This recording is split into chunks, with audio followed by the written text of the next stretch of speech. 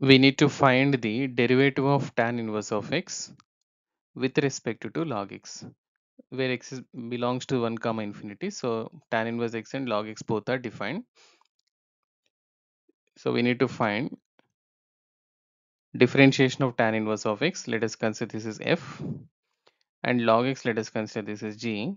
So we need to find df by dg. So which can also be written df by dx divided by dg by dx. So let f of x is equal to tan inverse of x. So differentiating df by dx is equal to 1 upon 1 plus x square tan inverse x differentiation and similarly g of x is equal to log x for x is greater than 1 and g dash of x that is dg by dx is equal to 1 upon x now df by dg is equal to df by dx upon dg by dx. That is 1 upon 1 plus x square divided by 1 upon x. So we can add x upon 1 plus x square is the answer